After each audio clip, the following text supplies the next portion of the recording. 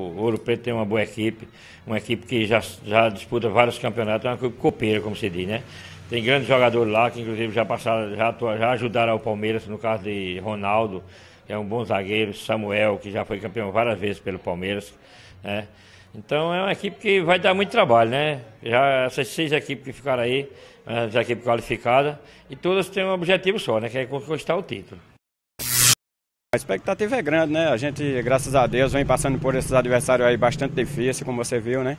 A gente pegou três pedreiras, o Barcelona de Zé Pinheiro, o Seleção de Lagoa Seca e agora o Cruzeiro do Belo Monte. E agora não é diferente, é mais uma pedreira pela frente e a gente vai trabalhar a semana todinha para, se Deus quiser, conseguir ganhar esse jogo é, domingo, se Deus quiser. A gente sempre com os pés no chão, trabalhando, já vamos reunir os meninos essa semana para manter a regularidade porque nós já conhecemos o Palmeiras, o Atlético, que está no nosso, no nosso grupo. Sabemos que são umas boas equipes, nós com certeza respeitamos bastante, mas nós somos grandes também, vamos para cima.